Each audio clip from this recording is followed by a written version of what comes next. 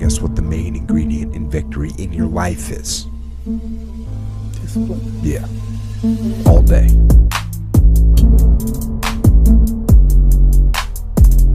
There is no shortcut. There is no hack. There's no sweatless solution. You you're gonna have to work.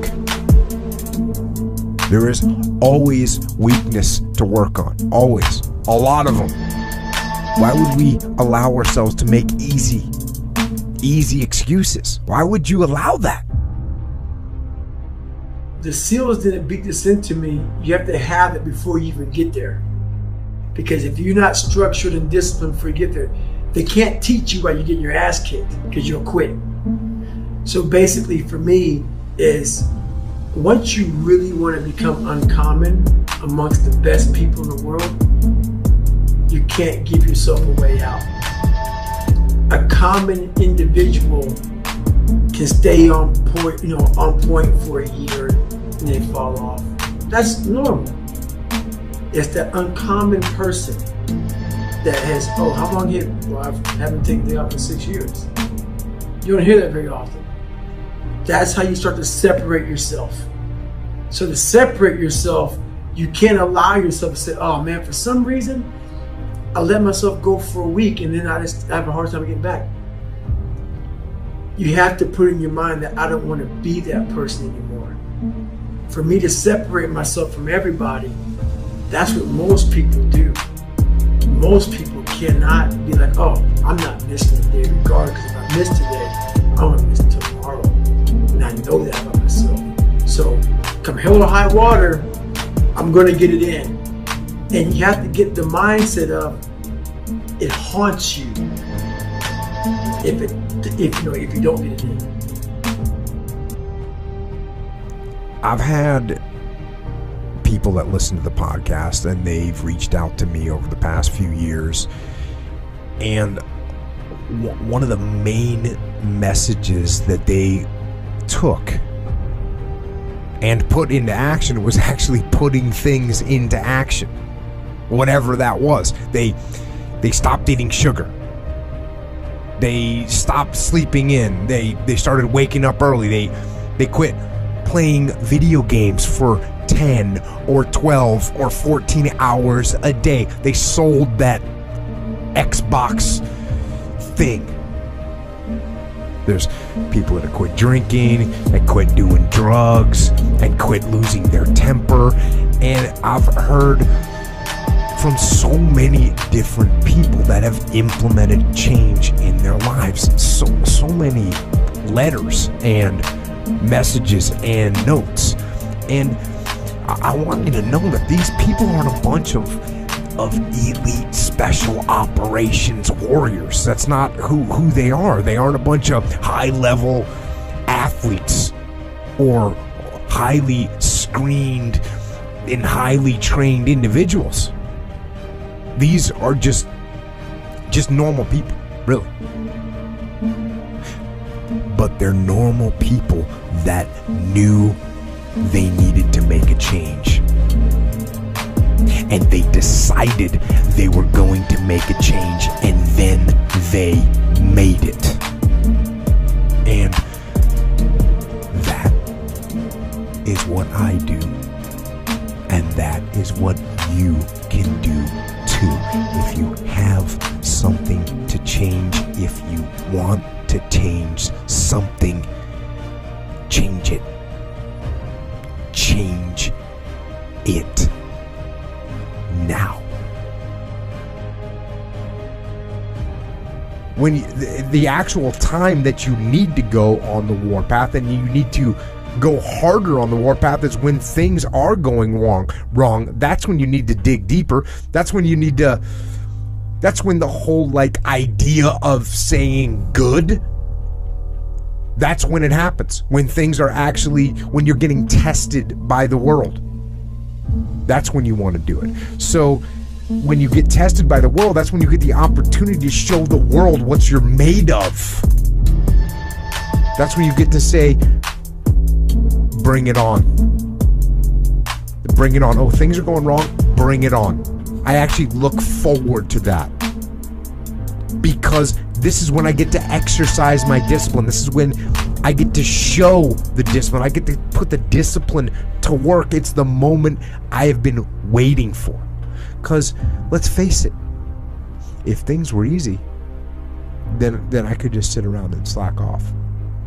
Right? That's what that's what could happen. When things are easy, when things are going right, that's when you actually can slack off a little bit because things are going right. I don't recommend it. I recommend actually when things are going right, you go hard. But when things are going wrong, you need to go even harder. So, if everything's going wrong, it doesn't matter to me because I'm on the path. I'm going to stay on the path, on the war path. I'm going to get my situation rectified. Stat. Other than death, all failure is psychological. Other than death, all failure is psychological. Think about that. Just just just think about that. This failure, this upset, this this catastrophe. If you aren't dead, then it's just psychological. It's in your head. Now, this does not mean that you won't lose some battles because you will. We all will. But it does mean that as long as you don't surrender, as long as you don't give up, as long as you don't quit, then you haven't failed. It just means you've made a, a temporary tactical retreat, means you've made a, a brief withdrawal so that you can regroup and reattack. So, as far as I'm concerned, if you get beat, unless you're dead, you are not defeated. And you have not failed. What you've done is you've learned. You've you've gained experience. And you're still alive. And you have memories to make. So get up and go get after it. I talk to myself in a very honest way. A lot of things I'm not great at. And if you're not, if you don't have that in you, you gotta tell yourself that. So for me, like when I tell people I I know I'm uncommon, it's because I know that there's not many people in the world doing what I'm doing. Not because I'm blowing smoke up my ass. It's because I set out to do this. I set out to be uncommon. You have to set out to be a business person. You have to set out to be an entrepreneur. And you can't like, you know what? I'm gonna be an entrepreneur. No. Has to be something that you're thinking about all the time. You're kind of born with it, but if the idea just doesn't leave your head and you're obsessed about, man, you know, I really want to get this going, you're not going to give up when the time gets hard. So it's the preparation that you've put into your entire life, your entire life, that gets you ready for the unprepared. So what does that mean?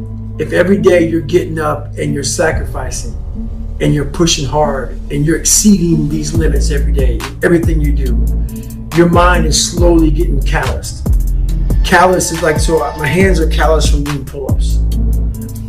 And you can callous your mind by continuously pushing hard at whatever you do. So, calluses protect your hands. Calluses can protect your mind too. If you're constantly pushing hard, the second this crazy thing comes up you're not ready for, it, you really are ready for it. Because your mind's like, oh, we got harder shit than this. We can handle this also. But a weak mind, an unprepared mind, not like you know what's going to happen, but most people who come into life unprepared, that one, you know, quick thing that happens to you that fucks you up, it's gonna fuck you up real bad. Cause you're not even ready for life. You've you've you've never grinded, you've never sacrificed. So how the fuck are you ready for this? So you're preparing your mind every day for those incidents that you're not aware of. Life throws something at you different every day, unless you just don't live life. You just live day to day about let's pay this bill, let's do this, let's do that. If you're taking chances and taking risk, which is what life's all about, that's how you really make it in the world. Well, my main purpose when I was growing up, I thought it was just to be some big loser. I thought I was put here just to just to fail. And that was my mindset.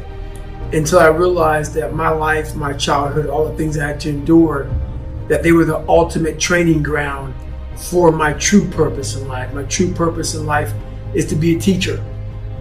I believe that we're all teachers. We just don't know it. We, we, we walk around thinking we have nothing to say. We have nothing to teach. We're no one. And life is constantly educating us. And we sit back and don't realize that this is nothing but a big lesson. I realized it. I took it on board. And I believe, you know, basically I'm I'm a teacher. And my job is to continuously gain knowledge from my own personal experiences and from my own life. Single trait of greatness is realizing that you're only utilizing a fraction of your brain, a fraction of your mental power. You're using only a fraction of it because your mind is guiding you into the great world of comfort. The mind has a lot of information. Your brain has a lot of information has to process and decipher and go through and shit like that. So you don't have to decipher comfort. You don't have to do all that shit. Comfortable is just very easy, so the brain loves it. It's like, okay, we have to know math and English and different phone numbers and codes and shit. You know, let's just say comfortable. I have too much to know. So it guides you away from comfort. Once you start to take ownership of your own personal mind and your mind doesn't own you, and you start to go into this world of very uh, of being uncomfortable and living there for a long period of time, you are forcing your mind to go from a very closed mind to an open mind because like man now i have to find a way to get through this. And you start to have to open doors. So basically that is that's that's where it's at. We lie to ourselves. We don't tell ourselves the way things really are and when we do that then we can't fix our problems if we can't fix our problems we're not going to improve so we have to be truthful to ourselves.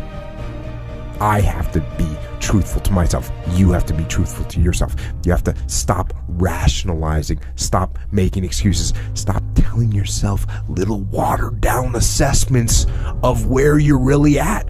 Tell yourself the truth so that you can get where you want to go. You can be who you want to be. You can be who you should be. Who you should be when you do what you know you should do, when you pay attention to the little things, when you implement discipline, true and unflinching and unmitigated discipline in your life, when you stop when you stop trying to find a sweatless solution, when you look for weaknesses to work on, when you allow no easy excuses. And all that starts when you stop lying to yourself. When you stop lying to yourself, that's when you can become who you know you should be. When you tell yourself the truth about where you are so you can make sure you are in the right place. And if you're not in the right place, then you can get yourself on the path to get there. The path of discipline, the path of hard work, and the path of